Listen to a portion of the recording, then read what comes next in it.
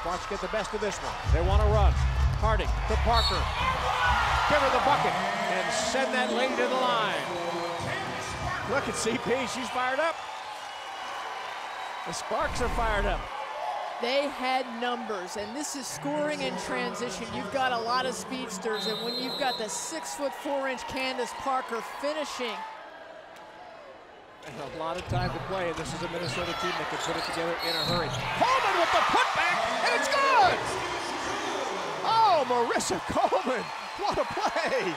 Look at the Sparks, they're digging this game. Toliver, Coleman, counting.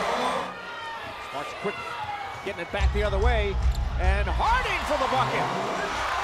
Parker to Harding. Harding to Toliver. Now Coleman.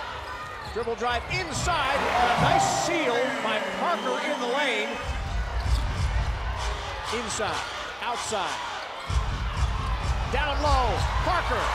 Count it. It's a 20-point lead for the LA Sparks.